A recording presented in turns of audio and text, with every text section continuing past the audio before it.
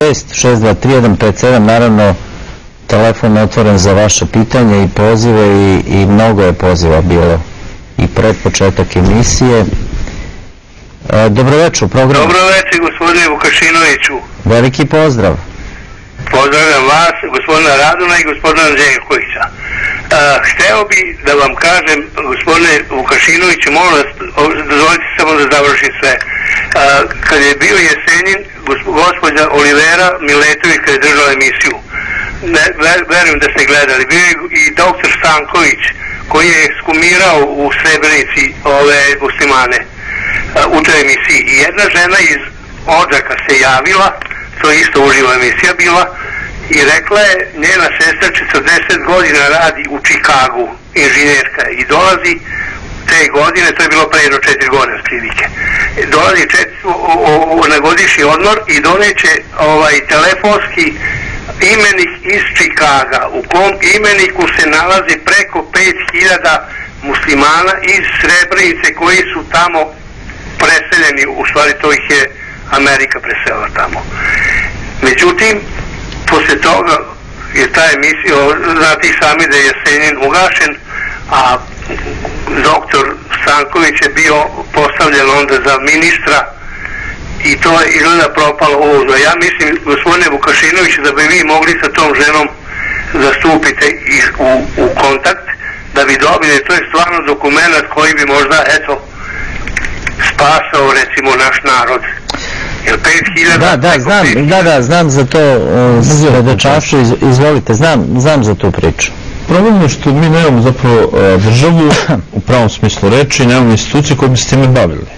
Mi e, smo imali neke institute koji su se bavili žrtvama genocida, ali oni su tako ukinuti manje više i jednostavno tim poslom bi se morala baviti država, znači da e, se napravi tim koji bi zapravo istražio ja mislim da bi bilo najbolje u Srbiji da se pre svega formira jedna parlamentarna grupa koja bi pre te rezolucije znači jedan odbor koji bi pokušao da koliko je moguće napravi neki ekspertski tim da se istraži ne sad da se pravi neka Da, da, prava da. istraga, ali čisto da se vide izjave različitih svedoka, pa i ovakve stvari i da se onda na osnovu nekako, nekakvog preliminarnog rezultata donose odluka kakva recimo rezolucija da bude, to jest da ne bude o Srebrenici, nego bude u svim žrtvama. Da, da, ja moram da kažem da konkretno na Srebrenici postoji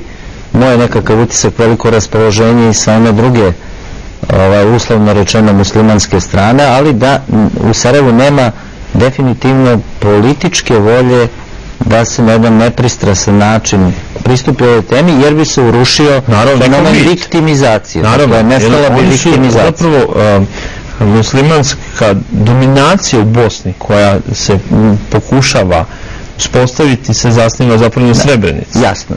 Da zastanemo, To je njihov interes. imamo još naravno poziva, dobroveče u programu, ste Halo? izvolite.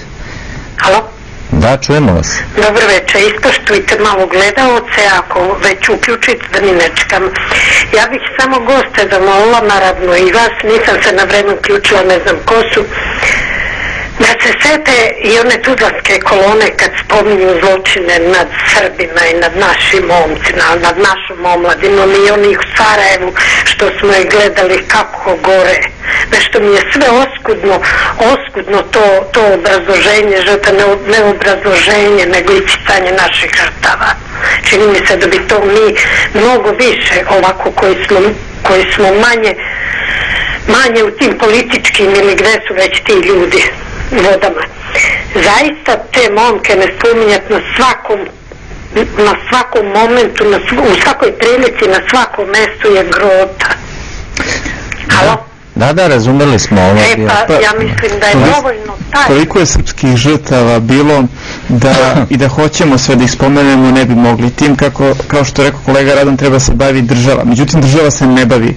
Mi od e, ove vlasti to ne možemo da očekujemo u uslovima kada se od onih koji su govorili protiv Srbije, koji su podržavali NATO agresiju 99. prave heroji, vrlo je teško očekivati da od onih koji su se borili za ovu zemlju, bilo to u Bosni i Hercegovini, bilo ti momci koji su bili u Tuzlanskoj koloni, bilo oni koji su izginuli 99. na Kosovu, teško je očekivati da će vlast da vodi računa o njima i da se seća njihovi tih žrtava.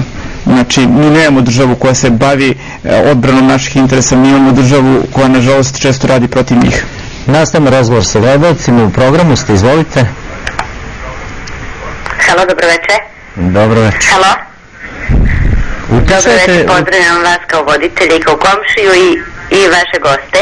E, ne znam samo da li ste možda gledali sinoć na B92, neka je bila, ne znam nije, da ne kažem rekonstrukcija i sve, e, povodom u, mislim da je i u junu, juli, bil, u julu bilo taj put prema potočarima, prema Srebrenici, ne znam nije sve, stalno donose nekih 5, 6 hiljada, 1050 ili bilo koliko nebitno je sanduka, stalno za 15 godina sahranjuju. Pa da su sve sahranili do sad za 15 godina, sve muslimane bi sahranili u Bosni i Hercegovini. Da li je to moguće? Da li smo mi toliko slep narod, neuk narod? Pa dajte mi da na, neko od, od intelektualaca da raspiše referendum, da se izjasnimo mi građani o toj famoznoj remo- o- o- ovoj rezoluciji o Srebrenici. Mogu ja da odgovorim? Hvala.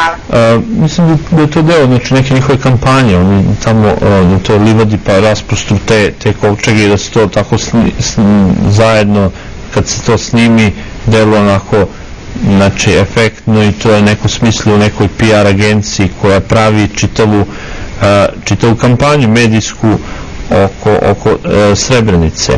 Ali mislim da a, da bi zapravo Srbija jedine, jedina stvar koju bi možda mogla da uradi je da inicira zapravo jedan um, jedan skup a, znači međunarodnih eksperata koji znači nisu ni naši ni muslimanski nego ljudi koji su prilično nezavisni a koji su možda i učestvovali tada u tim godinama i bili su svedoci e, i da se na neki način podigne stvar e, i da se izmesti iz tog da Skupština donosi neku rezoluciju.